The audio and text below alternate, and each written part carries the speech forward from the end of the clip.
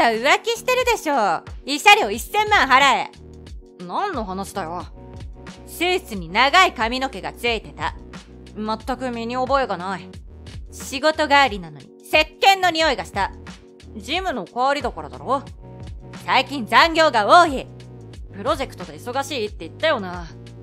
ポケットに2人分のレシートも入ってた。打ち合わせだよ。仕事でパンケーキなんて食べるわけ？取引先が甘党なんだ。怪しい。こないだは香水の匂いもしたし。勘弁してくれよ。俺が浮気なんかするわけないだろ。なんでそう言い切れるのよ。リサのことが好きだからだよ。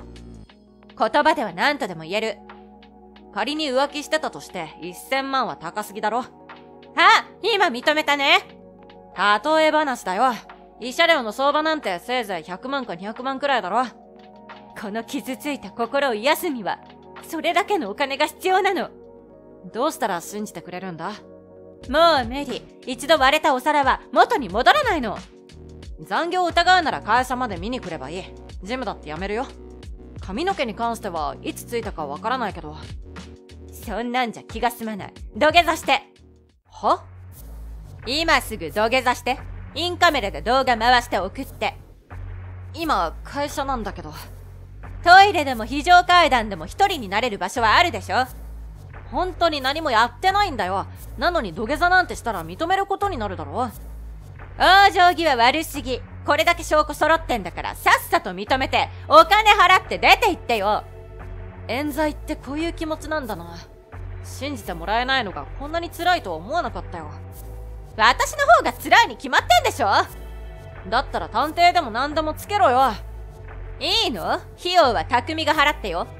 証拠が出たら俺が払うよ。言ったね？絶対だからね。好きにしてくれ。それで気が済むなら。土下座200回させてやる。腹筋と背筋鍛えておきなさい。数日後。リサの仕業だよな。何が？会社にファックスを送るのはやりすぎだ。何の話か私は平野匠の愛人です。奥さんがいるのに浮気するゲス野郎なのでクビにしてください。これ送ったの君だろ。はあ違いますけど。誤解を解くのが大変だったんだぞ。女子社員なんて未だに俺のことを白い目で見てくるし。こんなゲス野郎と仕事しなくちゃならないなんてかわいそう。それに最近やたらと変なことばかり起きる。日頃の行いが悪いからでしょ。酔った女性に絡まれた。俺の腕を掴んでホテルに引きずり込もうとしたんだ。やだそれ絶対に浮気じゃん。入るわけないだろ。思い切り振り切って逃げたよ。へえ。今週だけでも道でつまずいて俺に抱きつこうとする女性が8人はいたぞ。普通に生きていてこんなことはありえないんだよ。で抱きつかれたの？避けた。女性はどうなったのよ。よろめいてただけだ。今日の人は転んでたかな？ひどい！俺も誰に見られてるかわからない以上リスクは避けたい。欲しいしか考えられないのね。これ以上の妨害はやめてくれ。探偵をつけてるんだろ？だったらおとなしく任せておけよ。探偵が尾行してることを知ってるから尻尾を出さないんでしょ。そんなことない。俺は普段通りに生活してるだけだ。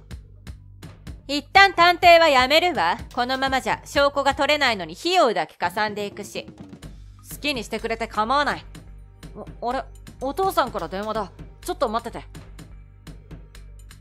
なあどういうことだよ。娘を裏切るなんて見損なったと怒鳴られたぞ。さすがパパ。娘思いだな。俺の母親からもすごい LINE が来てる。そんな子に育てた覚えはないって。俺は何もやってないのに。匠が認めないから皆さんに報告しておいたの。やりすぎだぞ。冗談の範囲を超えてる。本気よ。その証拠に結婚式の芳名帳からお友達にも連絡したから。嘘だろ。これであんたの味方はいなくなった。そろそろ認めたら。そうか。これ以上あがいても無駄みたいだな。お？もういい。諦める。探偵でも何でもつけてくれ写真撮りまくってくれ。証拠は多い方が有利だし。これで俺もこそこそせずに済むし楽になれる。やっと認めた。ただ1000万は無理だと思うぞ。年数や人数で変わるらしいが確かにあんたが怪しいのはここ半年くらいだもんね。まあ相場でもいいわ。こんなに疑われるだけの生活はさすがに疲れた。よく観念しました。これで探偵費用も少なく済みそう。悪いが本当に仕事が大詰めなんだ。戻っていいかな。どうぞどうぞ。もう帰りが遅くても文句も言わないから好きにしてね。助かるよ。浮気とお仕事を頑張ってね。はいはい。3ヶ月後。取れない。一枚も証拠が取れない。なんでなのよ。そんなこと言われても。んいつか尻尾を出すはずよ。私は諦めないから。更新所にも依頼してるし逃げ切れると思うな。ところで探偵費用いくらになった？絶対に決定的チャンスを逃したくなかったから一番いいプランにしたの。もう300万超えてる。うわ。俺は20万で済んだけどね。は？何が？探偵費用だけど。なんで？君の浮気の証拠が欲しくて。何言ってんのよ。言っておくが俺は本当に浮気なんかしていない。えででも明らかに怪しいところがあったのは事実だよね。あれはわざとだよ。え？自分が悪いことをしてる時って相手のことも疑った目で見ると思ったんだ。君はまんまと引っかかったってわけ。な長い髪の毛は？母さんに借りた。私のは潤いがないからバレないかしらとか言ってたけど。香水は？姉貴の借りた。残業もチームも本当だったの？もちろん。こないだ浮気を認めたよね？いやもう諦めると言っただけで認めてはいない。よく見返してみろ。最低！俺悪いことなんて何もしてないけど。なんで私を疑ったのよ？夜中にこそこそ電話だろ？それに香水と下着の変化。貯金の使い込み。2人分の焼肉屋のレシート。まだあるけど。全部言う？それは。今さら取り繕っても無駄。もう証拠は集まってる。えどどんな？2人で車に乗ってるところだよ。少し離れた場所で降りてたみたいだけど探偵さんは騙せないよ。嘘。もちろんホテルへ入っていく写真もある。居酒屋のカウンターに座って2人で将来の約束をしてる動画もあるよ。え？俺から慰謝料を取って新しい生活を始めるんだろ。楽しそうに話してたね。聞かれてたなんて全く気づかなかった。探偵すごすぎる。君が依頼した探偵は困っただろうね。俺を見張っても何も出ないんだから。何度も聞かれたわ。本当に旦那さんは浮気してるんでしょうかって。俺も探偵をまくっていう貴重な経験ができたから楽しかったよ。それが余計に怪しかったの。やましいことがなければ逃げる必要もないと思った君は損切りができないタイプだ。必ず証拠をつかむまでやめないと思った。だから引っ張れるところまで引っ張ってやろうと思ったわけ。性格悪っ。最高の褒め言葉だよ。300万返して。なんで俺が。あんたが私を騙したから探偵をつける羽目になったのよ。違うよな。お前が浮気したから慰謝料払いたくなくてやたらとよろける女性を仕込んだりしたんだろ。もうバレてるなら仕方ない。さっさと離婚して。いいけど慰謝料払ってからね。払うから先にサインしなさいよ。やだね。信用できないから。分割で払うってば。信用できないよ。だって相手は売れない役者だろ。そこまで調べたの？何を食べてもどこで遊んでも会計はいつもお前だった。マイホームの頭金にと思って一生懸命稼いで貯めたお金が俺の知らない男の飯代になっているとは思いもしなかったよ。ケチくさいこと言わないで。だから浮気されるのよ。今まである程度自由にお金は使わせてたけどそんなこと言われるんなら俺も遠慮しないよ。何よまず会社にファックスを送った件だけど発信元はすでに特定済みだ。え？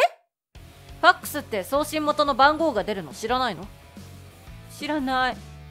お前んちの実家の番号だったよパパかな？んなわけねえだろ。これ名誉毀損って言って犯罪だから。え？俺は会社で大変な目にあった。上司にも呼び出されて始末書まで書かされたんだぞ。それで済んだならそこまで怒らなくても。アホか。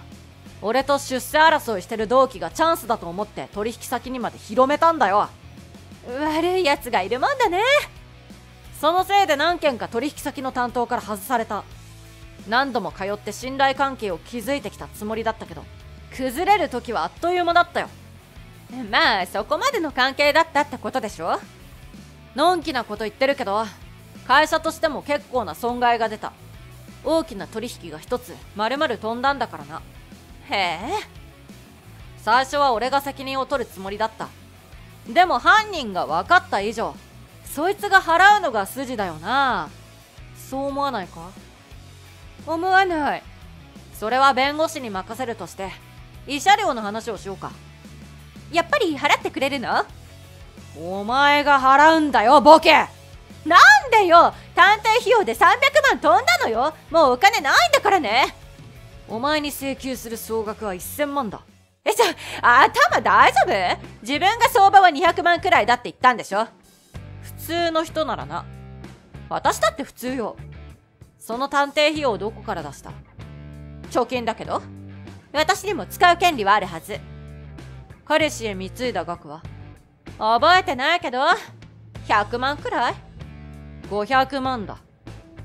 嘘よ。そんなに使ってない。残高は嘘をつかないんだよ。いつの間に使ったんだろう？探偵が300彼氏へ貢いだのが500何が1000万よ。800しか使ってないじゃん。そして浮気の慰謝料の相場である200万。あぴったり1000万。でも財産分与で半分もらえるんだからチャラね。配偶者の使い込みがあった場合は財産分与時にその使い込み分を請求することができるんだよ。そうなの？お前は俺に無許可で1000万の貯金のうち800万も使い込んだ。ちょちょっと待って。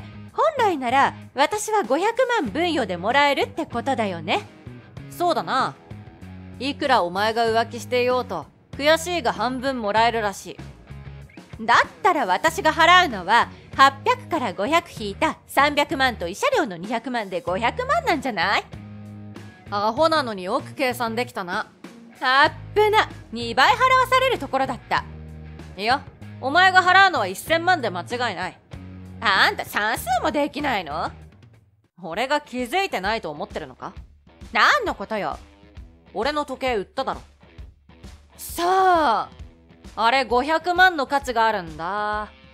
嘘。買い取りは150万にしかならなかったのに。お前ろくでもないところで売っただろ。側近でくれるって言うからどこの質屋だって側近だよ。それにまともな質屋なら身分証明書を出さないといけないんだぞ。そんなもの不要だったけど？その店どうやって見つけた？彼の紹介？お前騙されてるぞ。そんなわけない！その男には350万入ってるはずだ。彼が裏切るわけないでしょ？本人に聞いてみろよ。そう思ってかけてみたんだけど電話が繋がらないの。もう時計は戻ってこないな。俺が初めて買った思い入れのある時計なのにこんな時に時計の心配？それ以外に考えることある？私騙されたのよ。へえかわいそう。戻っていいよね？すっげえ神経してんな。ギネス乗れるんじゃね？世界一図太い神経の持ち主とかで。ふざけないで！ちなみにお前の両親に言いふらしたデマは証拠を見せて訂正しておいたから。え？疑ってごめんって謝られたわ。ちなみに俺の親はすでにこの計画を知ってたからお前に騙された演技をしただけで問題なし。何なのよもう頼るところもないじゃん。自分の浮気を隠そうと俺に罪を着せようなんて汚いことするからだろ。助けてくれるよね。さっきの請求額割り引いてくれたりしない ?B 対1問負けない。お願いします。お断りします 私が悪かったから許して！後日談。男に捨てられて俺からも追い出されたリサは頼る実家もなく途方に暮れた結果ネットカフェで無線宿泊をして詐欺罪で警察に捕まりました。実刑になった方がマシだったと思うほどそれからの生活は悲惨でした。住む家もないので、公園に寝泊まりしながらの職探し。その不潔さと悪臭から雇ってくれる会社があるはずもなく、完全に公園の住民となったそうです。しかしそれでは慰謝料等の支払いがされないので、ご両親が仕方なく引き取り、知り合いの工場に労働基準法無視の拘束時間で働かされているそうです。俺は心の傷も癒え、のんびり暮らしています。猫でも飼おうかな。